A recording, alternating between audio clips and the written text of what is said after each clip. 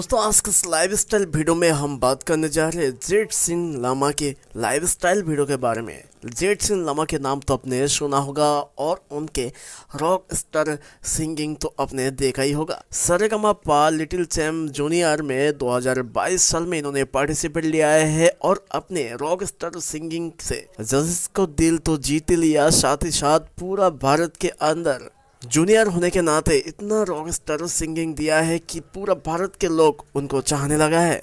तो आज इस वीडियो में हम बात करेंगे जेट सिंह लामा के लाइफ स्टाइल वीडियो के बारे में, जेट सिंह लामा के लाइफ स्टाइल के जोड़ी कुछ ऐसे ऐसे अनजानी बातें आपको बताएँगे जो शायद आप ना जानते हो। जेट सिंह लामा के car collection, house collection, family background, सारे बात इस वीडियो में आपको मिल जाएँगे। सो वीडियो को एंड तक ज़रूर बने रहिए, चलिए देर न करके शुरू करते हैं। Jet Singh Lama is a very soft spoken. Jet Singh Lama बहुत ही धीमी आवाज़ में बात करते हैं, लेकिन उनके गाने का सुर हाई लेवल पर है। ये जजेस को बहुत हैरान कर देती है। तो जेट सिंह लामा के फुल नेम की बात करें तो जेट सिंह दोहान लामा है। जन्म हुआ था 2013 साल में सिक्किम, इंडिया में। और वो अभी क्लास फोर में पढ़ते हैं और उनके उम्र सिर्फ़ नौ वर्ष की है। अब बात कर लेते हैं उनका फैमिली के बारे में। तो उनके मदर का नाम है उनिस हिमल। और उनके फादर ब्रदर वगैरह की नाम वगैरह अभी तक सामने नहीं आए हैं। उसके लिए हम क्षमा चाहते हैं। और उसके बाद बात करते हैं उनका करियर की। तो वो बचपन से ही गाने का शौकिंग थे। छोटी सी उम्र से गाने गाते थे और मनी मन गुनगुनाते थे।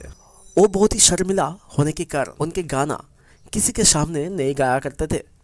इन्होंने सबसे पहले सिक्किम में singing reality show, junior Sikkim idol season one में इन्होंने पार्टिसिपेट लिया था और उस शो का विनर भी हो चुके थे। उसके बाद से उनको ज़्यादा पहचान हुआ था और उस शो का विनर के तौर पर उनको मिला था एक लाख रुपए की कैश प्राइज उसके बाद इन्होंने सरगमा पा लिटिल चैम 2022 साल में जी में शो में पार्टिसिपेट लिया है और ज़बरदस्त परफॉर्मेंस दे रहे हैं, जिसके चलते जजेस के साथ साथ पूरा भारतवासी भी उनके सपोर्ट करने लग रहे हैं। और ऑडियंस के वोट जजेस के स्कोर से वो हाई लेवल पर सिंगिंग दे रहा है इस टाइम लेकिन बहुत शर्मिला होने के कारण उनके आवाज़ को लेके हर कोई मज़ाक उड़ाते हैं कि वो बात करते बहुत धीमी सी, लेकिन गाने के लिए बहुत ही बढ़िया और तेज आवाज़ निकल सकते हैं। लेते हैं उनका कार कलेक्शन की। तो उनके पास अभी तक कोई कार की कोई कलेक्शन नहीं है।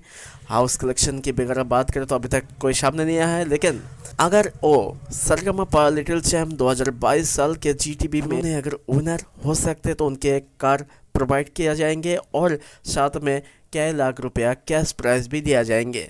आप क्या देखना चाहेंगे इनको। विनर के रूप में देखना चाहे तो वीडियो को शेयर सब्सक्राइब ज़रूर कीजिएगा और उनको बोर्डिंग ज़रूर कीजिएगा। Thank you so much video देखने के लिए।